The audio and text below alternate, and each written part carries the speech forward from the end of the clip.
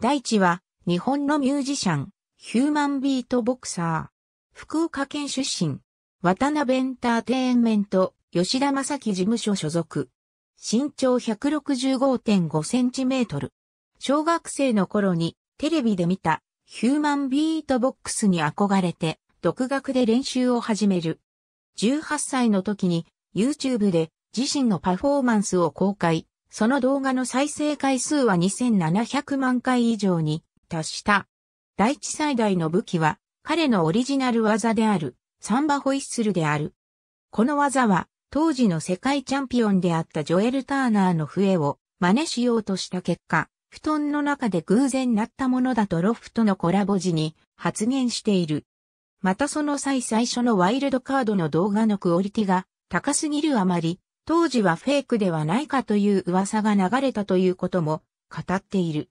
2011年春、福岡県内の音楽専門学校を卒業し、プロデビューをする。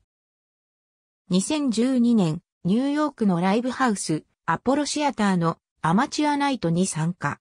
同年11月には、アマチュアナイトの年間グランプリを決めるスーパートップドッグに出場し、3位入賞を果たした。2017年、自身の YouTube チャンネル、第一ビトバーキサーの登録者が100万人を突破する。2018年、グループ YouTuber、ヨカローモンにメンバーとして参加する。